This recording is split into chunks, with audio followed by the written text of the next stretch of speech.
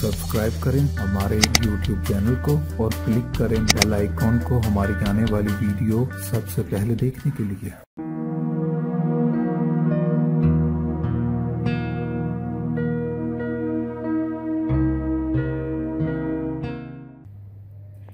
वालेकुम नाजरीन, आज मैं आपको मूंग की दाल की निमको बनाना सिखाऊँगी। तो ये निमको निमको बहुत अच्छी तैयार हुई है, आपको मैं इसका तरीका बताती हूँ कि ये कैसे तैयार करेंगे शुरू करने से पहले अगर आपने मेरे चैनल को सब्सक्राइब नहीं किया तो प्लीज़ मेरा चैनल सब्सक्राइब करें, मेरी वीडियोस को लाइक करें फ्रेंड्स एंड फैमिली सर्कल में शेयर करें। आइए देखते हैं अब आप ये दाल किस तरह बनाएँगे। ये देखिए, मैंने दाल भिगो के रखी थी, इसको दो घंटे हो गए तकरीबन। अब मैं इसको ड्रेन कर लेती हूँ, पानी इसका निकाल लेते हैं।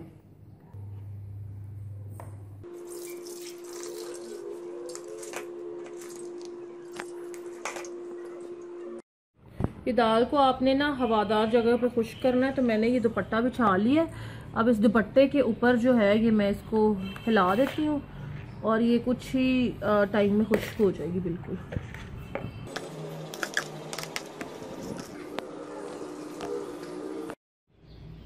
ये देखें ये बिल्कुल खुश्क हो चुकी है। हाथों को लग भी नहीं रही है, चिपक भी नहीं रही है।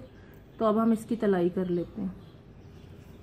ये दाल मैंने इस बर्तन में निकाल ली बर्तन भी आपने खुश्क लेना है, ये दाल बिल्कुल खुश्क है। अब हम इसको एक मिनट के लिए तेज गरम तेल में तलेंगे और निकाल लेंगे। मैंने टाइमर साथ सेट किया है एक मिनट का, ताकि हम जल्दी निकाल ये घी बहुत तेज गर्म है, इस वक्त तो आपने एहतियात करनी है। ये मैं डालने लगी हूँ। मैं इधर से डालूँगी ताकि मेरी घी ना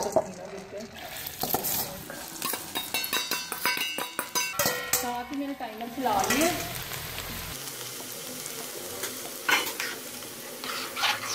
इंशाल्लाह हमने एक मिनट के अंदर इसको उतार लेना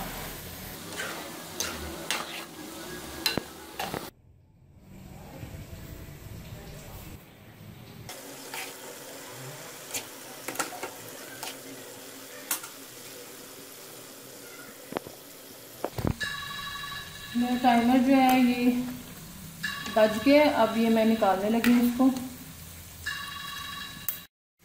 ये देखें, अब हम इसको निकाल रहे हैं। आपने जो है, ये देख लेना कि आपके चूल्हे का फ्लेम जो है, वो हाई कितना होता है। क्योंकि अक्सर फ्लेम का मसला होता है, चूल्हे इतने तेज़ नहीं होते तो एक मिनट से ज़्यादा देर भी आप दो मिनट देख सकते हैं। आप उसको ट्राई, चख के देख लेंगे कि क्रिस्प उसमें हल्का सा है और गल गई है तो फिर आपकी ये दाल तैयार है। तो मेरी तो चूल्हे का फ्लेम जो है बहुत ज़्यादा तेज़ है, इसलिए मुझे पता था कि ये एक मिनट में हो जाएगी। इसलिए मैंने टाइमर सेट करके उसको उतार लिया। पर अगर दो मिनट हो जाए तो कोई बात नहीं है, आप थोड़ी सी देर इसको पड़ा रहने दे सकते हो।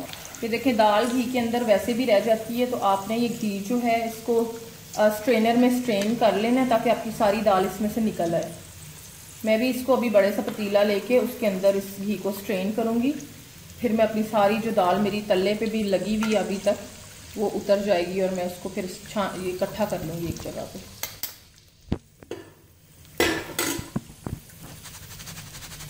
ये देखिए, आपको आवाज़ से भी लग रहा होगा कि बहुत क्रिस्प है। अब हम इसको चाट मसाला लगाएँगे। आप हसबे जायका चाट मसाला लगा सकते हैं। अब मैं आपको इसको डिश आउट करके दिखाती हूँ।